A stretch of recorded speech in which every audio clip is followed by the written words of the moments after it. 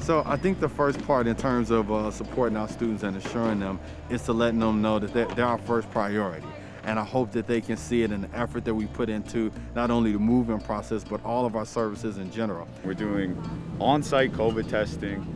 Uh, we're trying to make sure everyone is six feet away from each other at all times. We're requiring masks in the residence halls at all times. The second point is to remind them that all that we do is for them, whether it be assigned dining halls, assigned times, whether it be all of the, the back support that you don't see of the custodial facilities and maintenance teams, uh, keeping things clean, uh, fixing uh, high touch point areas, and really ensuring that when students come in, they know they feel safe and they know they're coming into a secure location. Move-in is very different. Uh, it used to be just one day, everyone moved in at the same time. Now we've kind of split it up into three days.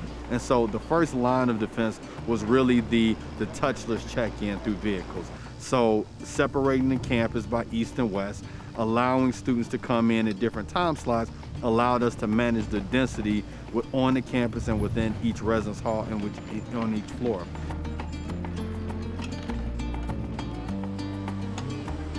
Acknowledging, as my mother would say, that they're dropping off precious cargo, and we realize that and we accept that responsibility. When you drop them off, to have faith in all the years and time that you put in there, getting them ready for this for this moment. Just looking around and seeing the effort that we put into and our ability to answer questions and address concerns before they even arrive uh, would give, uh, I think should give parents the, the know-how that we've been working on this and we're ready to accept that student and support them throughout this academic year.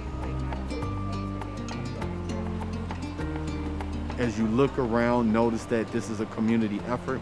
And as we move Oswego forward, it also means us playing our individual roles, wearing our masks, washing our hands, keeping each other safe, and knowing that whatever we move forward, we move forward together.